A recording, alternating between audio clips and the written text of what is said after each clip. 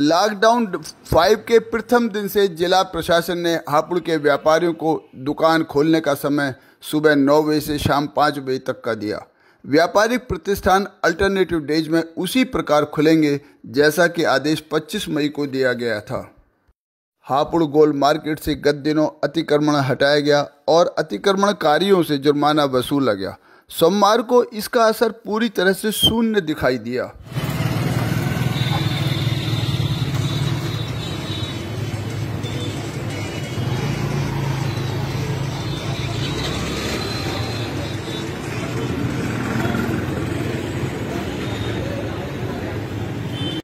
ये हापुड़ का मंडी पाटिया क्षेत्र है, जहाँ जिला प्रशासन के दिशा निर्देश के मुताबिक दुकानें खुली हैं। सुबह के वक्त थोड़ी बहुत भीड़ भाड़ दिखाई दी, परंतु दोपहर जैसे ही हुई, उसके बाद ग्राहक छटते चले गए और इक्का दुक्का लोग ही दुकानों पर दिखाई दिए।